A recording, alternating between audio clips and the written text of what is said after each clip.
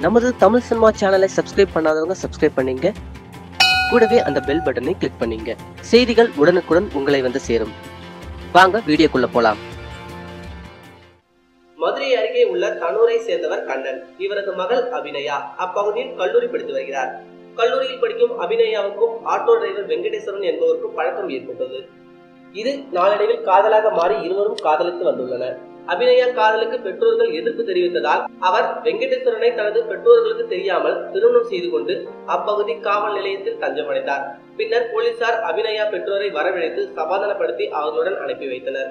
பெற்றோர்களை நம்பி சென்ற அபிநயா வீட்டில் அடைத்து வைக்கப்பட்டு துன்புறுத்தப்பட்டுள்ளனர். மேலும் அவரை மொட்டை அடித்தும் கொடுமைப்படுத்தியுள்ளனர். இது குறித்து அபிநயா கணவர் கொடுத்த புகாரின் பேரில் போலீசார் வழக்கு பதிவு செய்து விசாரணை மேற்கொண்டு வருகின்றனர். மேலும் இது போல செய்திகளுக்கு நம்ம சேனலை சப்ஸ்கிரைப் பண்ணுங்க. மறக்காம இந்த வீடியோவை ஷேர் பண்ணுங்க.